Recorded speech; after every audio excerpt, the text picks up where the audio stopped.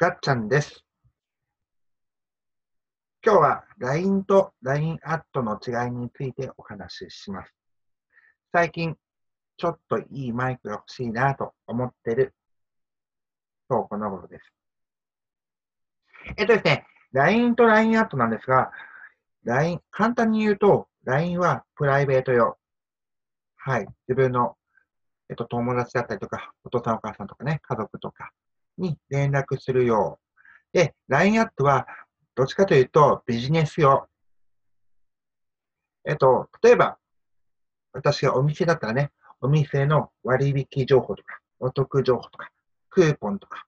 そういうのを登録してくれた人に情報を送る。で、登録してくれた方も、とも一対してお話もできる。まあ、そういうのが LINE アットなんですけども、まあ、もうちょっと詳しく説明すると、LINE はですね、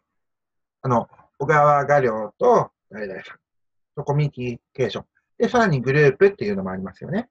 でも LINE アットはですね、あの、グループっていうのは作れないんですけれども、うんと、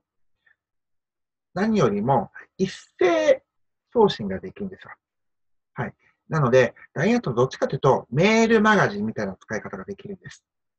それが LINE と LINE アットの大きな違いなんですが、ずっとインターネットビジネス、インターネットビジネスに限らず、どんなビジネスもそうですけど、メールマガジンっていうのが、お客様に自分からアピールできる、インターネットを使ってアピールできる、ものすごい有効なツールとして使われてきたんですが、最近は LINE アットが主流になりあります。そんなわけで、自分で何か情報発信をするっていう人こそ、LINE アットをいち早く取り入れるべきだと確信しています。近日、LINE アットの勉強会をインターネット上で Zoom を使って開催する予定です。今回この動画を見て LINE アット、あ、ちょっといいかもしれないと思った皆さん、Facebook でいいねボタンを押していただくか、YouTube チャンネルの、えーと、コメントに書いてもらうか、なんかしらリアクションしていただければ、当日、Zoom のログイン URL を無料で提供させていただきます。